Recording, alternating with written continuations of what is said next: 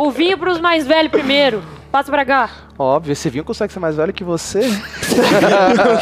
Eu dou um pouco. o, o Marcelo.